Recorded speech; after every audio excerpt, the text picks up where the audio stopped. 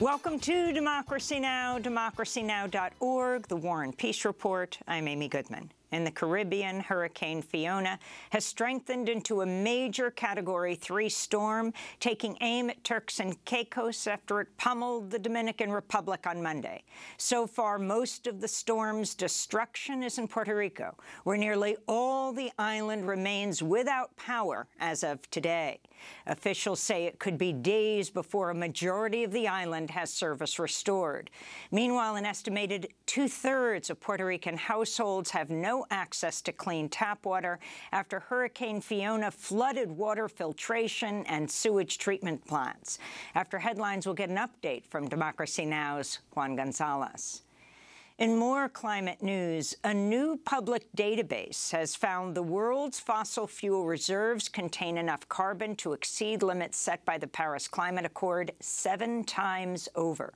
The Global Registry of Fossil Fuels warns burning the world's remaining supplies of coal, oil and gas would add three and a half trillion tons of greenhouse gas into the atmosphere, more than all the emissions since the start of the Industrial Revolution.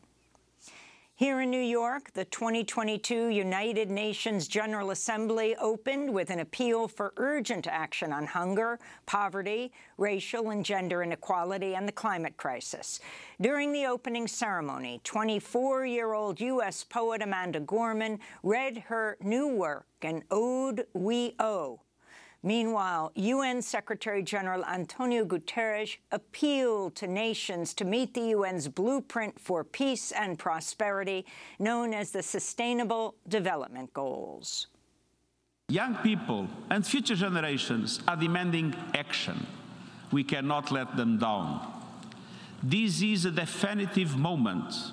All of you here today and those uh, tuning in from around the world give me immense hope that we can put our hands on the wheel of progress and steer a new course. Ukrainian officials said Monday the bodies of two children were found among the remains of 440 people buried in mass graves outside the city of Kharkiv, which was recaptured from Russian forces during a Ukrainian counteroffensive earlier this month. Ukraine's internal affairs minister said dozens of victims' bodies were mutilated and showed signs of torture. Kharkiv's police chief said investigators are carefully exhuming the bodies to identify the remains and to determine a cause of death. It is very hard to establish whether they are gunshot wounds in the bodies or not. This work will be done during the examination of the body with the forensic expertise. In Ukraine's east, Russia-backed separatists say shelling by Ukraine's military in Donetsk city Monday killed 13 people, including two children.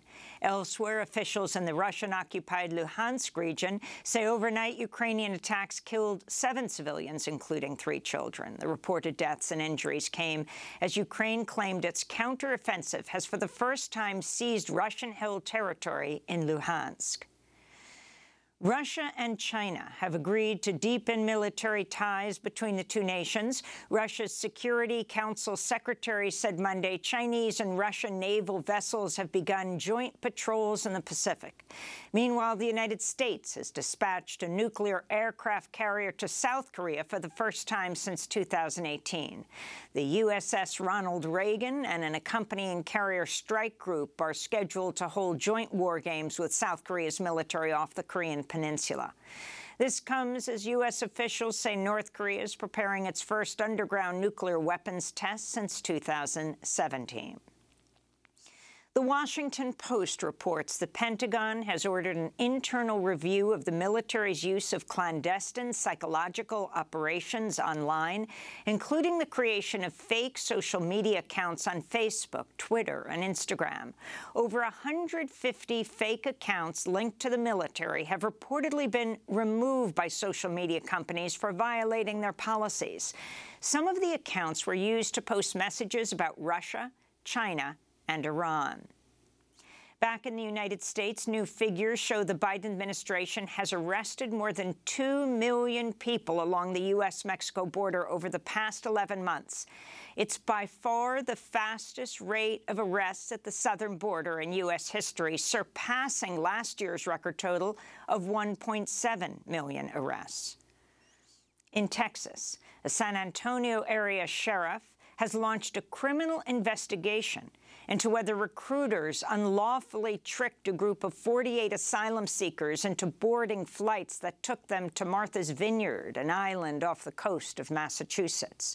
Lawyers for the migrants say they were given brochures promising cash assistance, job placement services, and more.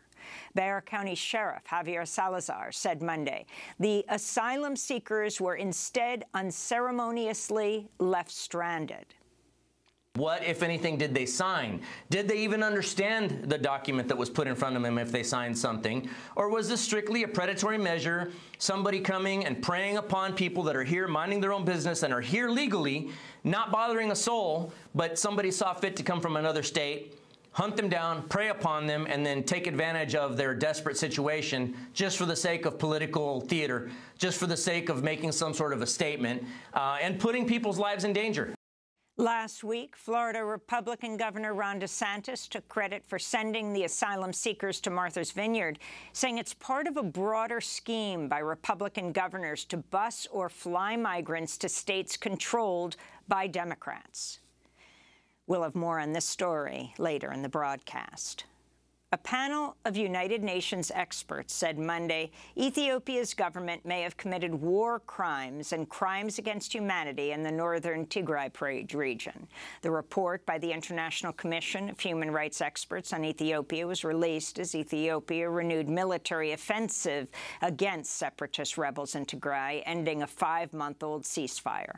The commission said Monday all parties to the conflict were found to have committed crimes, including extrajudicial killing killings and rape. The conflict there has combined with the climate crisis to exacerbate a food shortage in Ethiopia, where some 20 million people are in need of humanitarian assistance.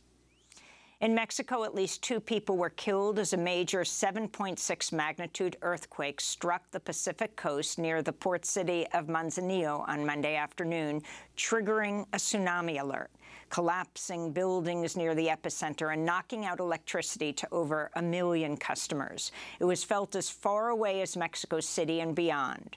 The earthquake struck on the anniversary of two previous major earthquakes which devastated central Mexico in 1985 and 2017. It came just hours after authorities in eight states held earthquake preparedness drills.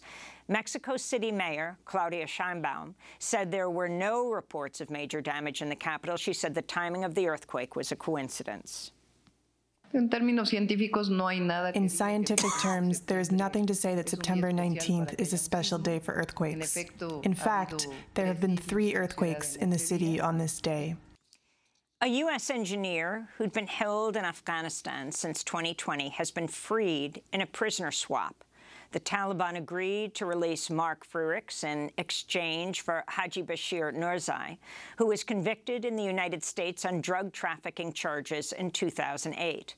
Nurzai, who had been sentenced to life in prison, was a key financial backer of the Taliban in the 1990s. Secretary of State Tony Blinken spoke Monday.